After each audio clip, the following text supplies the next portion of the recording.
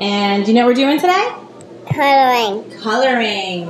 And we have some really cool books to color with. Mhm. We have holes, squiggles,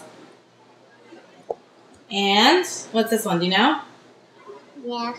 All about faces. Okay, and we're gonna try and do each one and see see what they're all about. So which one do you want to do first? Squiggles or holes? Holes? Okay. Let's see. You got your crayons, right? Mm-hmm. And let's pick a page. You see basically what you do is there's holes. There's holes in the pages so that when you're coloring, you're actually coloring onto the next page and then you get to see the surprise of what you made. So in this one, you're trying to change the pink and the yellow into different colors. But what we are really doing is decorating some what? Was it ice cream? Mhm. Yeah.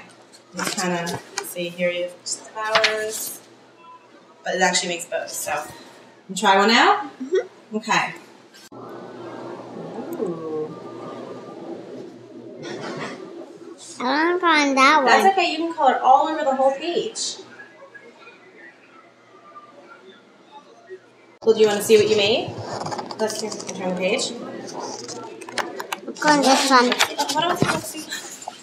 So you made a spotty, a spotty worm. Right now you're coloring in a tree, right? Oh, you want to see what it's going to be?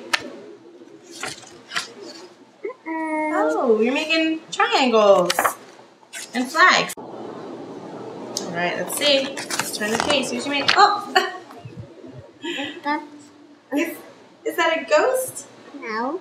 It looks like a silly ghost. Huh? And you made him some eyes. Nice, right? Okay, so this is the Squiggles book, and this one actually tells you what to draw. So, you see this picture, this man has a beard.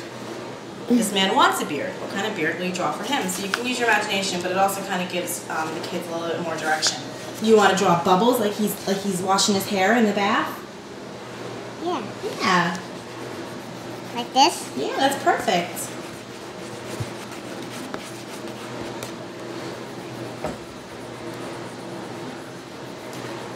So one of the good things about these books too um, is the fact that they're only seven ninety five.